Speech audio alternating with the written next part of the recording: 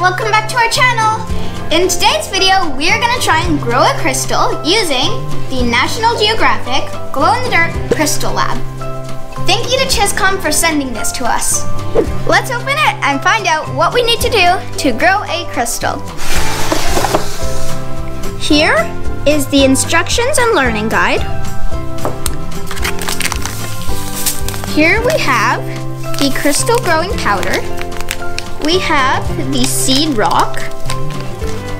And here is a magnifying glass, a fluorite specimen, and a display stand. And last but not least, we have our wooden spoon. You will need a stainless steel pot or a tea kettle to boil some water, a glass measuring cup, and a crystal growing chamber. Here we have 200 milliliters of boiling hot water, where I'm gonna add the powder, and I am going to mix it for at least two minutes.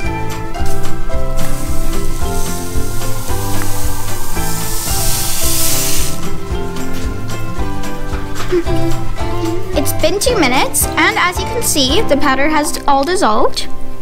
So now we're gonna pour this into the growing chamber, and we'll let it sit for 10 minutes.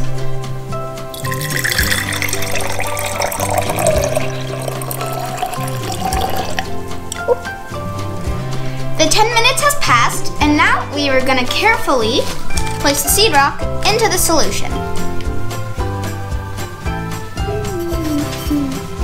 Make sure that you center it so that your crystal can grow evenly. Now we need to place our experiment in an area where it can sit undisturbed for up to seven days. There are three things your area should have, stability, light, and warmth.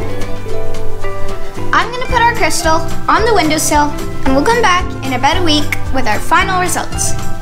The major growth happened within the first 24 hours of us putting the crystal in the water. Guys, I'm back. It's been about a week. Here is our crystal.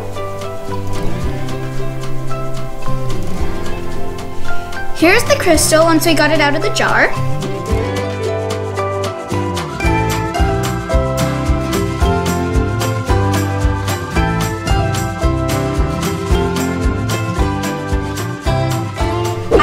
Really pretty, and this should be glow in the dark too.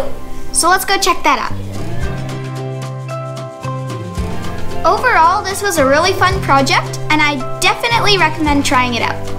I hope you guys enjoyed our video. If you did, please leave a big thumbs up, and don't forget to hit that big red subscribe button.